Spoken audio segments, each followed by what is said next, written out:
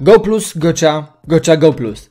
Wiele z Was dobrze wie, że istnieją urządzenia, które pomagają nam zarówno jak i łapać Pokémony, tak i też kręcić Pokestopy w naszej grze. Ja posiadam takie urządzenie i jest to oczywiście Go Plus. Jednak nie jestem zbytnio z niego zadowolony, z tego tu, że po prostu jestem przyzwyczajony do normalnego łapania, do patrzenia na ekran, bo wiecie, może być shiny, a nie chcę powiedzieć takiemu urządzeniu łapanie shiny. No wiele się takich sytuacji zdarza, wielu osobom i jest zadowolone. Ale wiele razy było tak, że przypuśćmy włączałem to, bo byłem zajęty i po chwili się wyłączało, mimo że czas, no, przeleciał dłuższy od tego włączenia i zostawiłem, nie używałem. Kilka dni temu napisał do mnie polski dystrybutor Goczy z pytaniem Hej Try, mamy dla Ciebie Gocze, nowe urządzenie. Prawdopodobnie jeszcze nie widziałeś, nie korzystałeś, nie próbowałeś. Mm, to prawda. Czy chcesz przetestować? To pomyślałem, no w gruncie rzeczy zawsze mimo wszystko patrzę na ten ekran, kręcę, kręcę, ale zdarza się tak, taka sytuacja, że przypuśćmy, no nie mam czasu na to, żeby patrzeć na ten ekran. Więc jeżeli dałem szansę GoPlusowi, to czemu nie dać szansy właśnie i temu urządzeniu? Tym bardziej, że niedaleko mam kosz. W razie w gdyby mi się nie podobało, jest szansa. Dlatego się zgodziłem i otrzymałem paczkę. Wygląda jak zegarek. Całkowicie inaczej niż GoPlus. I wydaje się, no, ciekawszy i nie zwraca uwagi żadnego przechodnia. Hmm. Przyglądnijmy się temu z bliska. Faktycznie jak zegarek. Ale po co mi to jest?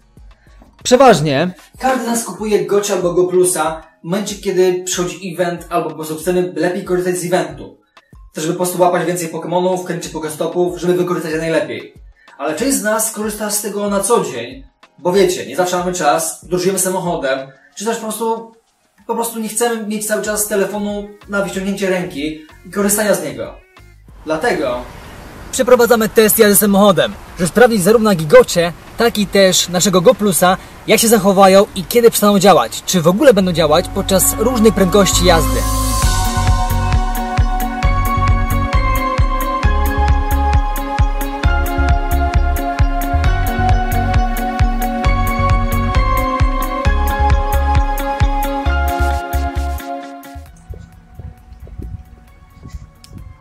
Tu jeszcze Pokestop przekręcimy, żeby było porówno. Wyłączamy jednego GoPlusa i wyłączamy drugiego. Oczywiście musimy zweryfikować na bazie naszego jeszcze journala Pokémony złapane. Na jednym jest to liczając 10 to jest 26 podczas jazdy, a na drugim jest to aż 37. Różnica niebagatelna. I to Gocia zapał 37. Trzeba też wziąć pod uwagę, że tutaj włączyłem tryb automatyczny, a tutaj mimo wszystko trzeba było klikać, więc jednak opóźnienie w reakcji człowieka i prawdopodobnie też go, y, naszego GoPlusa jest no, większe zdecydowanie niż tryb automatyczny na Goczy. Sprawdźmy jednak oczywiście nasz journal na jednym i na drugim koncie. Jak wyglądało zestawienie poprzez spotkania Pokémonów? Priorytet łapania jest całkowicie inny, zwróćcie uwagę. Lecąc po kolei, Teddy Ursa uciekł, tutaj Psyduck złapany, ten uciekł, ale należy zauważyć, że na jednym koncie oczywiście zmieniały się levele, poprzez to, że się łapało Pokémony i szybko levelowaliśmy. Dlatego nie ma tych samych oczywiście CP na, na jednym i drugim koncie. Też dlatego też trzeba to wziąć pod uwagę. Tutaj mamy Geodu, mamy sporo Wizmurów, Pokestopy, Wizmur, Wizmur, Wizmur. To jesteśmy tutaj w tym miejscu. O, tutaj nasz Gocia znalazł Danspersa, a nasz GoPlus nawet tego nie wyhaczył. Jest Pikachu. Mamy Eevee tutaj na GoPlusie jeden uciekł, jeden zapany. Tutaj nawet nie sprawdził. Solrock złapany, tutaj uciekł, Skitty zapany uciekł. Także różnie to się zachowywało. Oczywiście zależnie od tego, jak wyglądało CP Pokemona. Tutaj miało 724, tutaj miało 1100, więc różnie to wygląda. Dlatego też kolejny test będzie przeprowadzony na bazie spacerowania po różnych okolicach Jarosławia, jak i też korzystając z innych kont, kont powyżej 30 levela, żeby się upewnić, że oba konta mają te same szanse na zapanie Pokemona. Także póki co test jazdy samochodem wygrywa nasz Gocia. Dobra, przejdźmy do kolejnego testu. Jednak, kolejny test chcę przeprowadzić bez używania telefonów. A wiemy dobrze, że tylko Goczy ma możliwość łapania automatycznie Pokémonów, dlatego też troszeczkę oszukamy nasz system, naszego Go Plusa i nasz test poprzez to, że wykorzystamy automatyczne łapanie za pomocą spinacza, nakładając jeden na drugi. I właśnie po to chcę testować, bo poniekąd używamy tych urządzeń, kupujemy te urządzenia głównie po to, żeby odciążyć nasz wzrok od telefonów, jak i też łapać Pokémony w momencie, kiedy nie potrafimy, nie możemy. Tak właśnie w przypadku prowadzenia samochodów, gdzie oczywiście kolejny test będzie polegał na tym samym, tyle że właśnie podczas jazdy. Ja mam nadzieję, że to się uda. Także łączymy jedno i drugie urządzenie i zaczniemy zabawę wśród Pokémonów. 1275 idealnie. Na jednym i drugim telefonie działa wybornie. Idziemy łapać z wyłączonymi ekranami telefonów. Zakładamy nasz oszukańczy automat i lecimy. Test stop. W tej chwili symulowałem przejście z terenu uczelni, gdzie miałem rzekomo tam ustawić sobie jakieś spotkanie e, w bibliotece, później załatwić coś na uczelni w jednym obiekcie i dostać się tutaj na spotkanie z przyjacielem na punkt widokowy w Jarosławiu. Telefony cały czas miałem w plecaku, nie wciągałem do tej pory. Co jakiś czas tylko sprawdzałem, czy nasz spinacz nie obsunął się z naszego Go Plusa. Wyciągamy, sprawdzamy.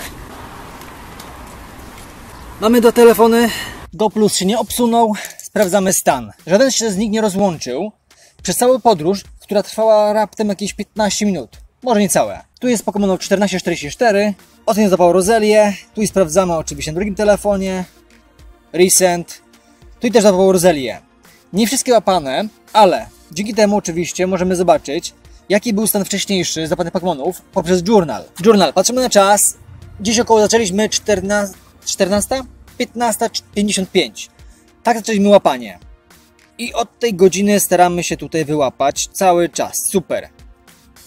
15.55. Kurde, ma większy czas.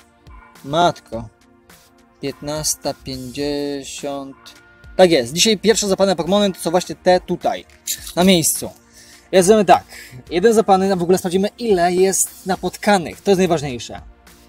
Raz, dwa, trzy, cztery, pięć, sześć. Raz mi uciekł. Trzy, trzy, pięć. Trzy, cztery, pięć, sześć, siedem, osiem, dziewięć, dziesięć, jedenaście, dwanaście, trzynaście, czternaście, piętnaście, szesnaście, siedemnaście, osiemnaście, dziewiętnaście, dwadzieścia, dwadzieścia jeden, dwadzieścia dwa, dwadzieścia trzy, dwadzieścia cztery, dwadzieścia pięć. 26, 27, 28, 29, 30 na tej jednej trasie, którą pokonałem prawdopodobnie, prawdopodobnie, sprawdzimy oczywiście, w tej chwili widzicie, masz, macie gdzieś obliczenia, e, z jaką prędkością się poruszałem, ale staram się nie zatrzymywać, nawet na przejściu, bo trafiałem na zielone światło. A drugim, oczywiście patrzymy jaki jest wynik, załóżmy, że zaczynamy od tej rataty. Raz, dwa, trzy, cztery, pięć, sześć, siedem, osiem, dziewięć, dziesięć, jeden dwa, na trzy, na cztery, na 14. Go Plus wyłapał przy tej prędkości tylko 14 Pokémonów.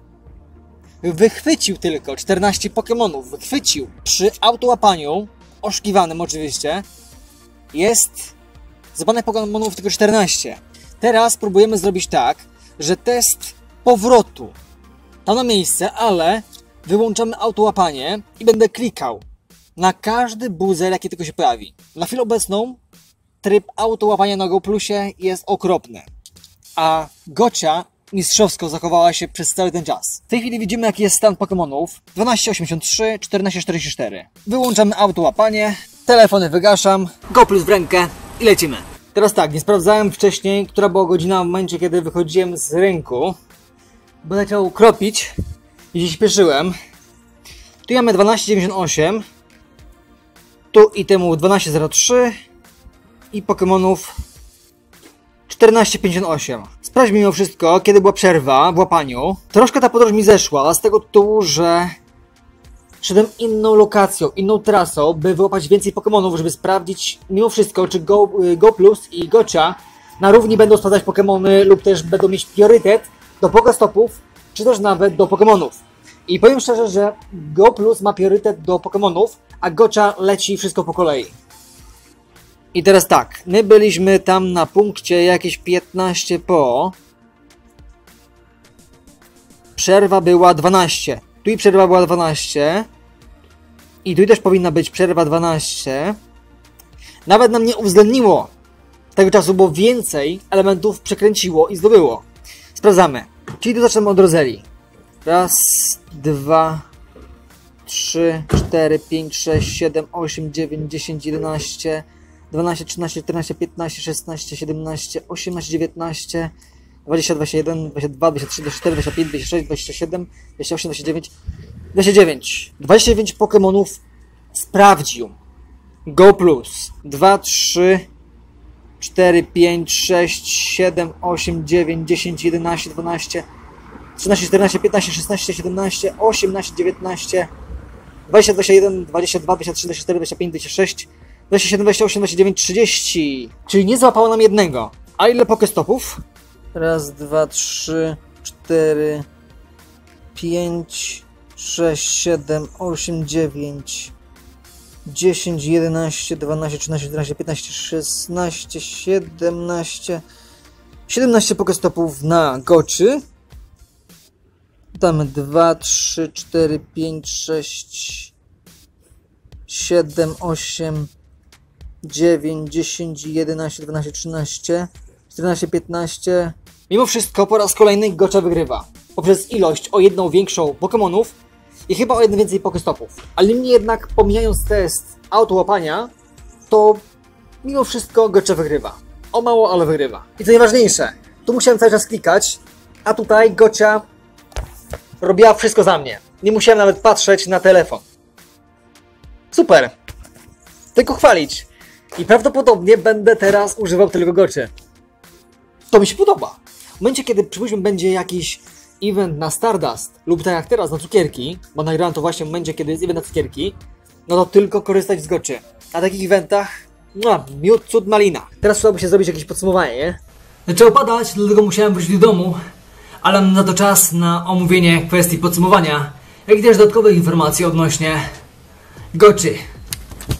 Mamy pudełko, a w pudełku mamy drugie pudełko. Znaczy pudełko to jest bąbelkowa folia. W nim mamy opaskę, tu się mi stawia gocze, gocze w własnej osobie, wyciągającą się to z ładowarka. Ładuje się oczywiście poprzez wsadzenie tego do samego końca, do samego trzonu, jak i też podpięcie go do źródła ładowania USB. Bardzo wygodne. Czyli mamy opaskę, mamy gocie. Wsadzamy to wygodnie, żeby tutaj troszeczkę odgiąć trzeba. I wchodzi idealnie. Włączamy ją poprzez dwukrotne wciśnięcie. Mamy informację o goczy. Klikamy jeszcze raz. I pokazuje się nam na ekranie oczywiście pasek. Pierwszy informuje nas o tym, że łapie Pokémon automatycznie. Jest fajka na dole. Tu są wibracje i połączenie z naszym goczą. Czyli jest połączone. Jeśli chodzi o połączenie goczy z naszym telefonem poprzez Bluetooth, to oczywiście zachowuje się tak samo jak Go Plus, czyli włączamy e, Bluetooth na telefonie, włączamy gocze do poziomu tego i później oczywiście znajduje to na naszym telefonie, parujemy, odpalamy Pokémon Go i tam włączamy nasze, e, naszą goczę, czyli Go Plus według systemu. Jednak można modyfikować te ustawienia właśnie na naszym ekranie, co jest mega wygodne. I zwróćcie uwagę, że pierwsze poprzez kliknięcie nic się nie dzieje. Mamy tylko przejścia przez tryby. Przytrzymujemy przycisk na dole, kółeczka i mamy xik. Włączamy jeszcze raz, przytrzymując i mamy potwierdzenie. I tak z każdym trybem. Jeżeli chcemy wyłączyć y, nasze wibracje, to oczywiście przytrzymujemy, mamy wibracje, przytrzymujemy jeszcze raz, wyłączamy wibracje. To jest mega wygodne. Banalne w obsłudze. Zakładam na rękę, wsadzam do kieszeni, automatycznie nam łapie. Aha, i możecie zapytać, co się stanie, jeżeli przypuśćmy zgubimy naszą opaskę, która jest mega fajna, jak i też przypuśćmy ładowarkę, gdzieś zapodziejemy. Istnieje możliwość do kupienia. Jeżeli nam się coś stanie właśnie z nimi, to możemy dokupić u oczywiście polskiego dystrybutora Holland Poland, gdzie są do dyspozycji właśnie zarówno geopaski, tak i też ładowarki. Osobno, nie trzeba kupować całego zestawu, tylko osobno każdą sztukę, jak, jak się komu podoba. Linki, żebyście mieli wygodniej, są w opisie. A z mojej strony to tyle, dziękuję za uwagę i widzimy się oczywiście w następnych materiałach. Trzymajcie się, heja!